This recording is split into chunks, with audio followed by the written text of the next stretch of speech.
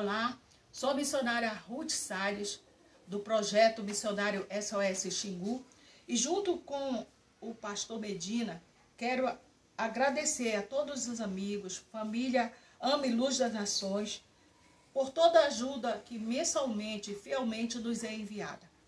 Essa ajuda se transforma em alimentos, em compra de redes, lençóis, remédios e itens de primeira necessidade que vão de encontro às necessidades das pessoas que enfrentam a pandemia, a fome e a miséria extrema neste momento tão difícil, onde também as doenças têm avançado e muitos pescadores não podem ir para o mar, para os rios pescar. Isso tem gerado uma fome extrema. E de encontro a isso, a AME tem sido presente através dos seus projetos sociais que vão é, gerar esperança através do que nos é enviado.